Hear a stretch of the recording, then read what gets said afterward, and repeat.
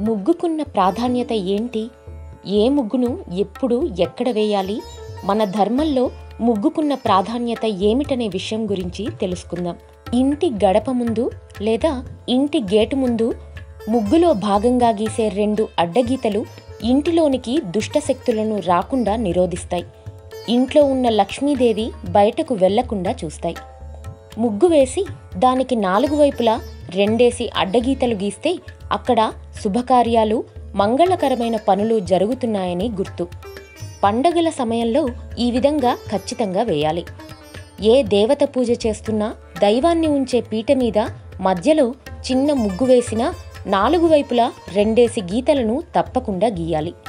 నక్షత్రం ఆకారం వచ్చేలా గీతలతో వేసిన ముగ్గు భూత ప్రేత పిశాచాలను ఆ దరిదాపులకు రాకుండా చూస్తుంది. అంతేకాదు మనం వేసే పద్మాలు చుక్కల ముగ్గుల్లో కూడా మనకు తెలియని అనేక కోణాలు దాగి ఉన్నాయి.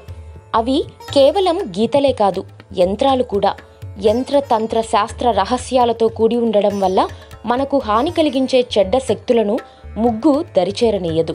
అందుకే ఏ ముగ్గునైనా అస్సలు తొక్కకూడదు. తులసి మొక్క దగ్గర అష్టదళ పద్మం వేసి దీపారాధన చేయాలి. యజ్ఞ యాగాదులలో యజ్ఞగుండం మీద నాలుగు గీతలతో కూడిన ముగ్గులేయాలి.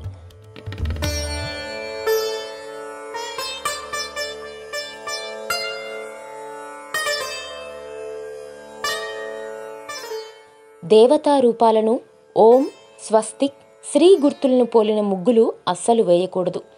ఒకవేళ వేసినా వాటిని తొక్కకూడదు. ఏ స్త్రీ అయితే దేవాలయంలో అమ్మవారు శ్రీ మహావిష్ణువు ముందు నిత్యం ముగ్గులు వేస్తుందో ఆ స్త్రీకి ఏడు జన్మల వరకు వైదవ్యం రాదని సుమంగళిగానే మరణిస్తుందని దేవి భాగవతం బ్రహ్మాండ పురాణం చెబుతున్నాయి. పండుగ వచ్చింది కదా అని నడవడానికి చోటు లేకుండా వాకిలంతా ముగ్గులు పెట్టకూడదు. ముగ్గులు రోజు వేయలేక పెయింట్ పెట్టేస్తాం. దాన్ని ముగ్గుగా శాస్త్రం అంగీకరించదు. ఏ రోజుకా రోజు బియ్యపు పిండితో ముగ్గు పెట్టాలి. నిత్యం ఇంటి ముందు వెనుక భాగంలో తులసి మొక్క దగ్గర దీపారాధన చేసే ప్రదేశంలో ముగ్గులు వేయాలి. ముగ్గు దైవ శక్తులను మరియు పాజిటివ్ వైబ్రేషన్స్ను ఇంట్లోకి ఆకర్షిస్తుంది. ముగ్గులు ఒకప్పుడు సూచకాలుగా పనిచేసేవి.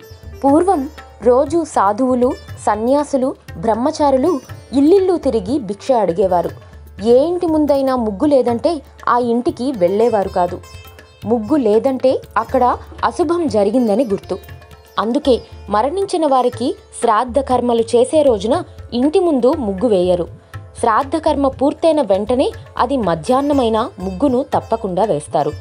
ముగ్గుల వెనక సామాజిక మానసిక ఆరోగ్య ఆధ్యాత్మికమైన అనేక రహస్య కోణాలు దాగి ఉన్నాయి. మనం ఆచరించే ఏ ఆచారము మూఢనమ్మకం కాదు.